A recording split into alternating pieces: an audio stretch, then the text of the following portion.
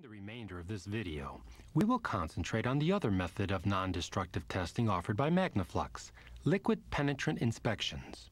As the name implies, this method uses colored dyes that penetrate into surface cracks to facilitate detection. And similar to the magnetic particle method, we offer non-fluorescent and fluorescent options. Spot check is the trademark name for Magnaflux visible or red dye penetrant.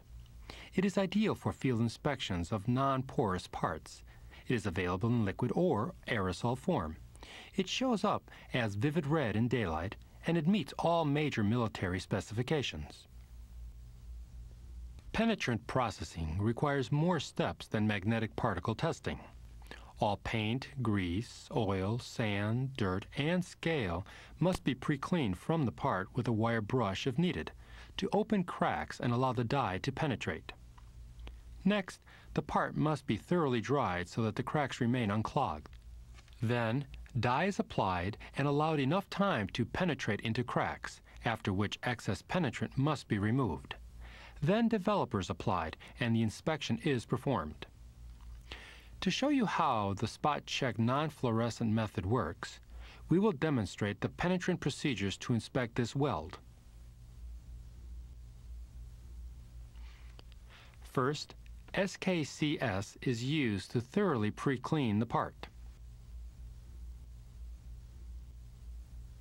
Second, the part is dried completely. This step is particularly important when using water-based cleaners because water in a crack can prevent proper dye penetration.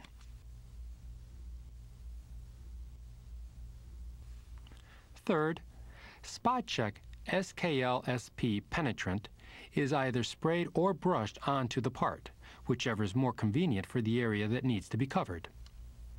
After letting the spot check penetrate for about 10 minutes, the fourth step is to remove surface penetrant. First, wipe with a dry cloth. Then, moisten a cloth with an approved cleaner and wipe off excess penetrant.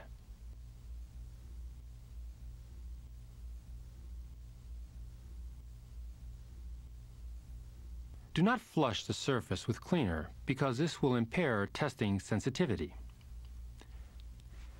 A convenient alternative to cloth wipes is our new 123 Cleaner Wipes.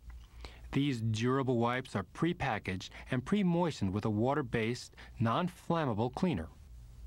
Fifth, be sure the part is completely dry after you clean it. A cleaner like SKCS dries almost instantly, but 123 cleaner might require some towel drying. Sixth, shake the aerosol can of SKDS2 developer to assure proper suspension. Hold the can about 10 inches from the part and spray in small sections. Use just enough developer to wet the part thinly and evenly.